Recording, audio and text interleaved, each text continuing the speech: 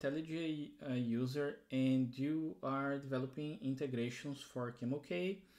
uh, then you would need to do a lot of manual setup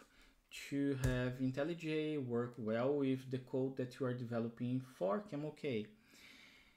This uh, includes like, for example, setting up the dependencies uh, that are used in the route so that the IntelliJ can understand and figure out what to complete for you. What this plugin does is it makes it a little bit easier to do this step. Once you load a um, project from uh, a CamelK project into the IDE and you set up the SDK, all you have to do is run this uh, convert project to CamelK, which is in the tools menu, and it is going to download all the dependencies that are required for uh, for the auto completion to work and for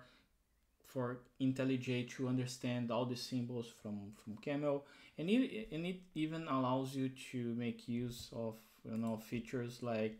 getting each the definitions and so on. That makes your life as developer so easy. So once again, all you have to do is go here to the tools menu, call, um, click on the convert project to CamelK, and it does the all the stuff for you.